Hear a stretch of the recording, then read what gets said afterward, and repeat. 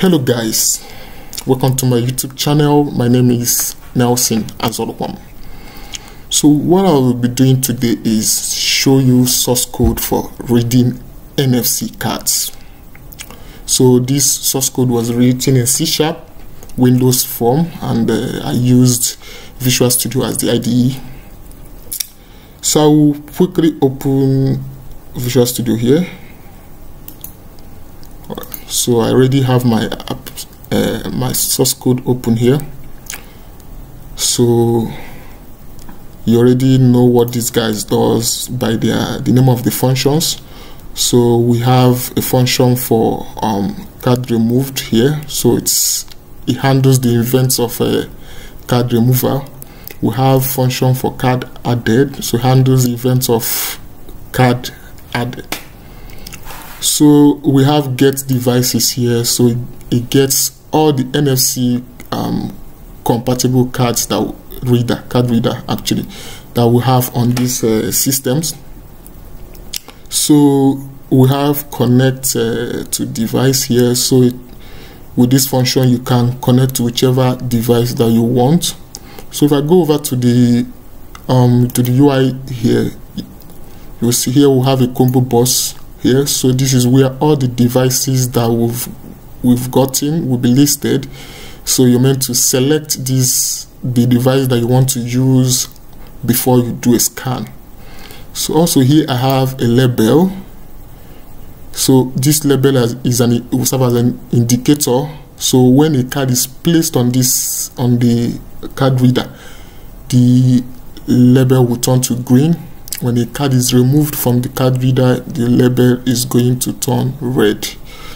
So I will quickly run the application to show you how it works.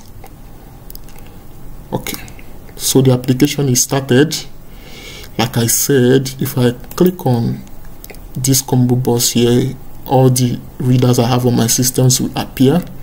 So what I need to do is to select one here and scan the card.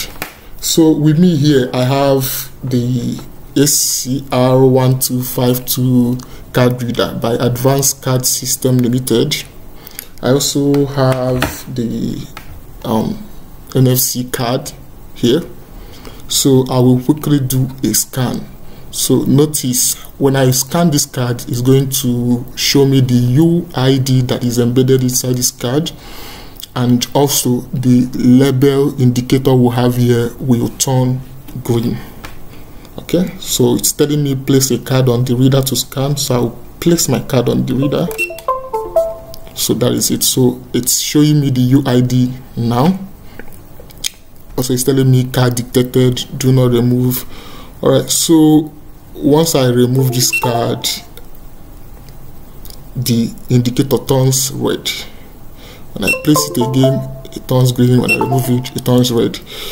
So on a large scale application let's say um, hotel systems attendance or clocking systems you can use this card reader for clocking. So what you have to do is that um, whenever you scan this card you have to enroll it for. So whenever you whenever you scan you will use this uid to pull out the information of the user. Yeah. so i will leave the link to the source code in the video description. If you're interested you can go ahead and download. So that will be all for today. Take care guys. Good luck. Happy coding